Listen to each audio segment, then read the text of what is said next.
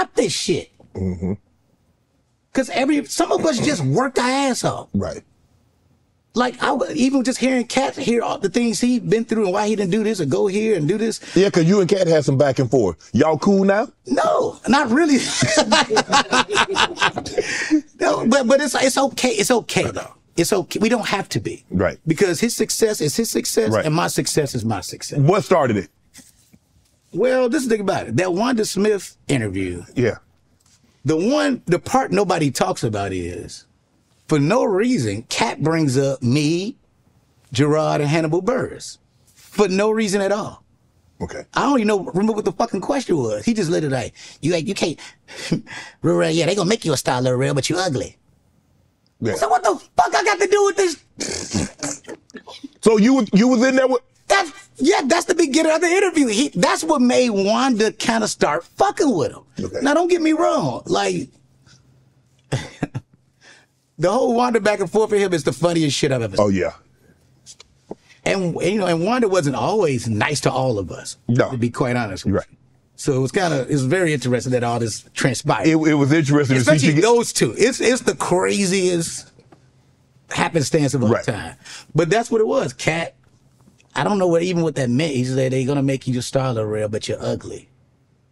He said Lil Rel, Jerrod Carmichael, Hannibal can't walk the mall in Atlanta. I forgot the mall. Um, Lenox. Lenox, and no woman would talk to them.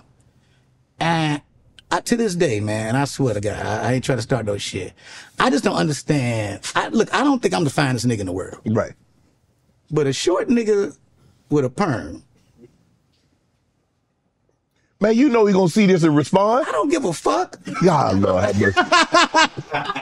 You know what I'm saying? Like, like, like, it, if we was both two regular niggas in a mall, Right. and he has the perm and Right. the mustache, Right. and I walk in like this with my regular shit, who the fuck you think women gonna talk to? I don't know, Rel. I don't know. I ain't in it. I ain't in it. I'm just saying. So that that's the that's the only irritating thing about that for me. Like other than that, it's like Katt, brother. If I'm an ugly nigga, thank God, cause that's why nothing didn't to me. Ain't nobody approached me. Right. Ain't nobody asked me to do shit. I guess I'm an ugly, talented nigga. and Right. I'm okay with it. Man, real God. Rel, why you come up here upset the You car? know man? I, I didn't do anything. You asked about it, and I'm just saying, like, and I and look, all comics, I, you know, y'all, all of us, like, man, we, everybody's like, come on, man, you gonna go.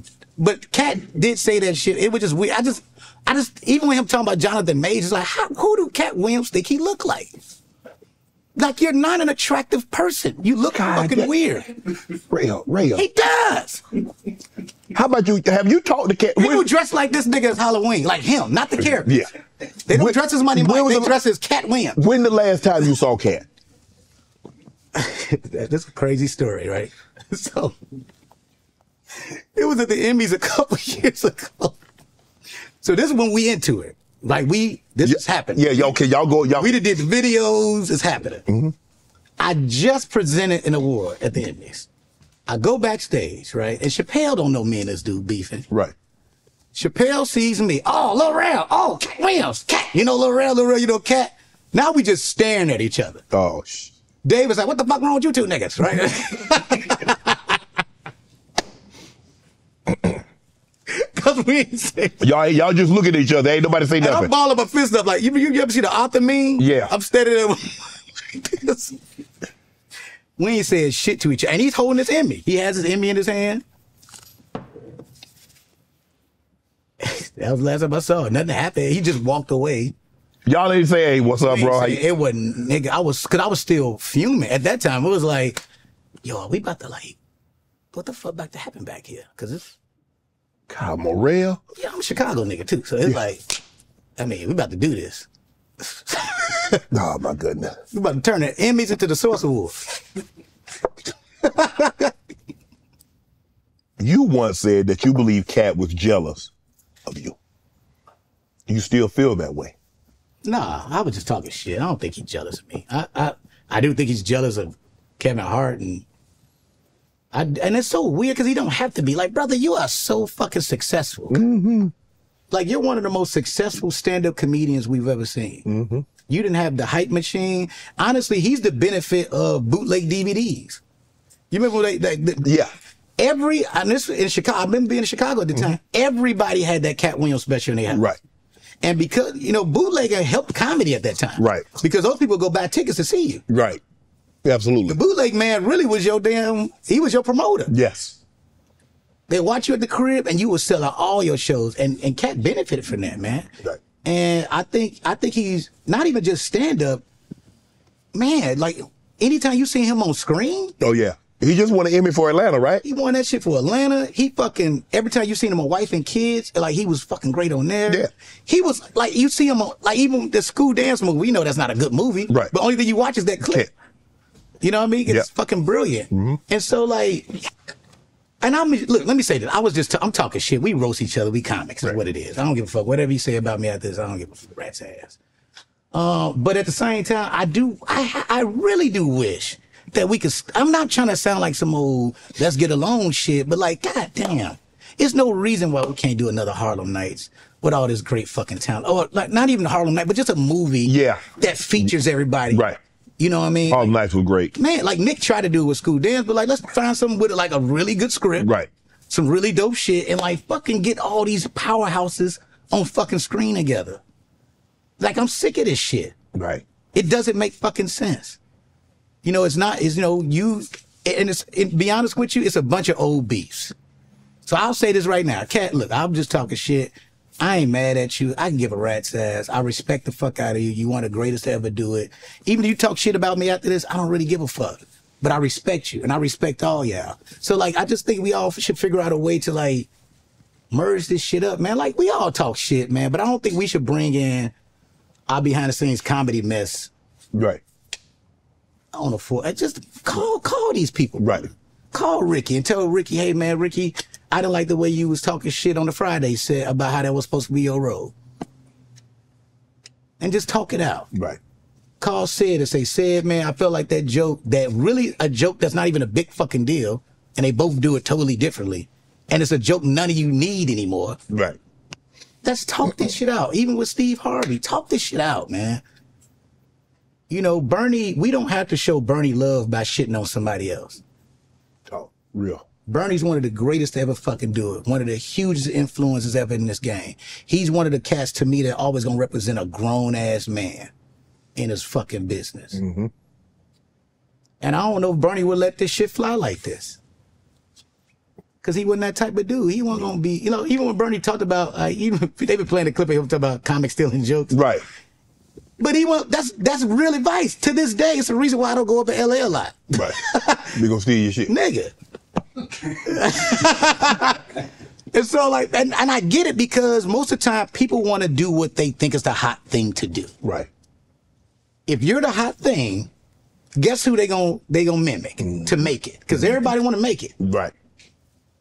That's the one thing people talk about all this other shit. I'm like, no, like people steal styles and mm-hmm. dialect and all type of shit because they like, well, this person made it. So, you know, I don't know. That's that's.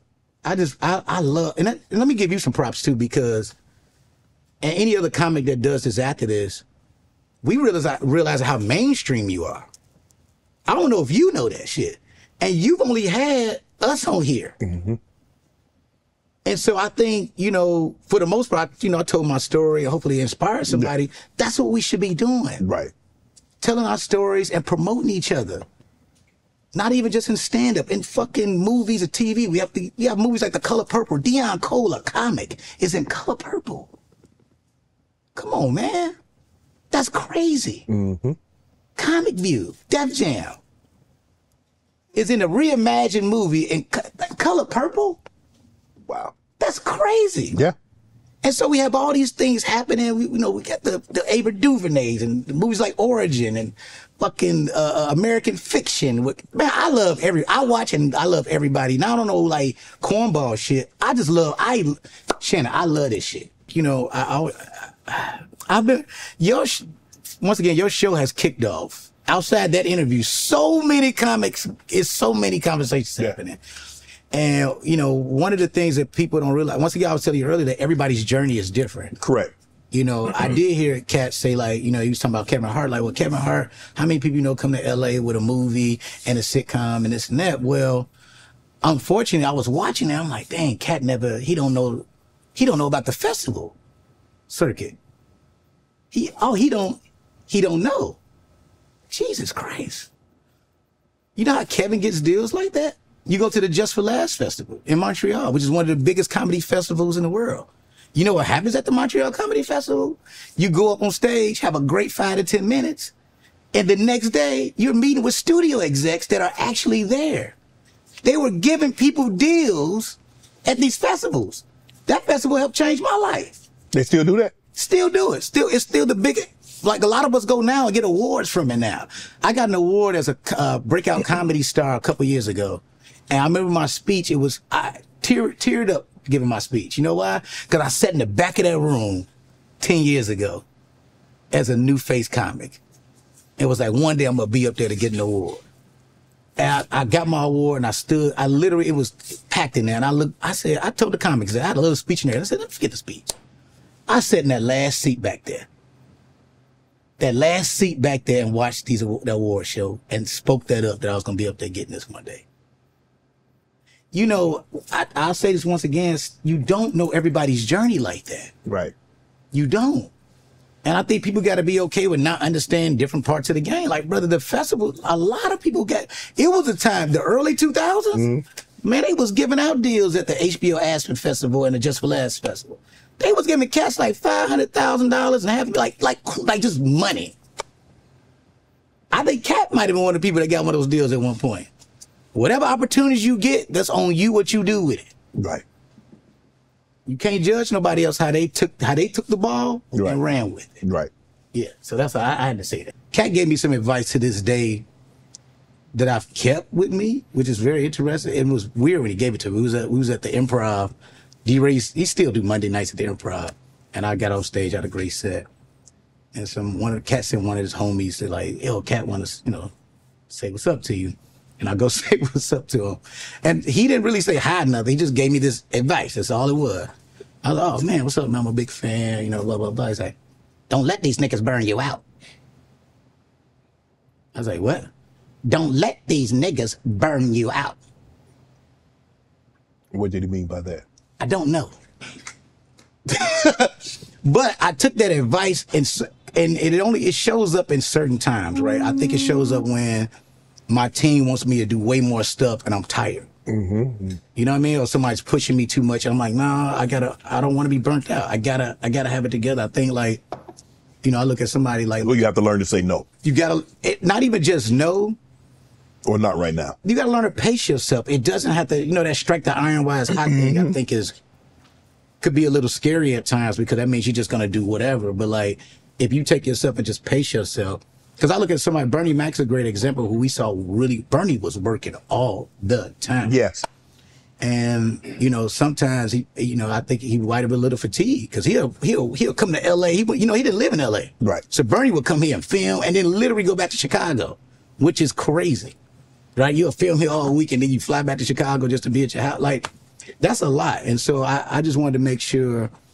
Katt said that, but then Chris Rock kind of said the same thing when we talked before, and I've heard it from a bunch of veteran comics about pacing yourself and not burning you out, burning yourself out. But as a, excuse me, as a young comic coming up in the game, there's a fine line between getting out and doing enough sets so people see you, so you get that big break, mm-hmm. and and not like like Katt said, not burning yourself out. So where is that line? Well, in the beginning, it doesn't feel like a burnout because you grind it. You just need the stage. You just well, Correct. you get the stage and the stage time, man. That's what you do. You know what I'm saying? Like, you know, like for instance, I told you about D. Ray had the Sunday spot. Right. When I first started, he, once again, that was the hottest club in Chicago, and I wanted to go up every week. And so he's like, "Yo, you want some stage time? You got to help seat." So I helped seat the people every Sunday. Both shows, I was seating people, and I remember catching a lot of shit from comedians. Like, "Damn, how you gonna do that? That's not degrading. That's not da da da." da." I'm like, "Nah," because I get a chance to go up on the hottest stage every single week in front of the biggest crowd every single week. Right. So I don't care how embarrassing it looks. Matter of fact, it gives me a cheat code. I know everybody that's in here. I know what this audience is gonna be. I know what their energy is. 'cause I seated everybody in here. Mm. And so, you know, it's one of those things where like, you know, I cared about the stage time earlier. It's just getting those reps up. and that was so important. But then it's like learning all different aspects of the game, which is why like, you know, I think it's very important. I, and I definitely, I'm not- I have to say this, it's like everybody's journey is different. Nobody has the same journey, right? And which is why I, I don't like telling nobody else's story. You know what I'm saying? Mm-hmm. Everybody's journey is different, which is why I think it's so beautiful about this time now in black comedy. You know, people don't realize that comedy is still kind of a new, it's kind of n- the newest, a newer entertainment than almost like hip hop is. And so we just really seeing our, our consistent millionaires of black comedians. Mm-hmm. This, this is new. Like the deals that Kevin is getting, the stuff that Katt has done, the stuff that Ced has done, the stuff Ricky's done with the radio. This is just this is consistently still almost first generation of all this type of success. Right. And it's a bunch of people at the same time. And so like, you know, I I I'm excited about like we just have all these different things happening. We have fucking hit radio hosts. We have cats who've been on several sitcoms. We had cats who still touring arenas everywhere and selling out. We had this cat who's like, you know, you look at Kevin is selling underwear now. He got everything. You know what I mean? Yeah, yeah. It's like, you know, comics are selling shoes. Mike Epps is buying his neighborhood Right. you know, Michael Blackson's going back to like it's so much happening. It's like, yo, like I, I hope sometimes if people could take time. I know it's competitive what we do, but take time to be like, yo, what, yo, we doing this shit. You know, we have the Jamie Foxx who won an Oscar, Yeah. a black stand-up comic, and we think about mostly everybody came from Def Jam and Comic View. True. You understand what I'm saying? Mm-hmm. Like, our people made us stars, and now everybody's crossed over. Yeah. That's great. I'm not who I'm who I am because of them. Want to join Club Shay Shay? Become an official member by hitting that subscribe button, where you never know who's going to be joining us for drinks and conversation. Don't be late to the party because you know we like to do something before two something.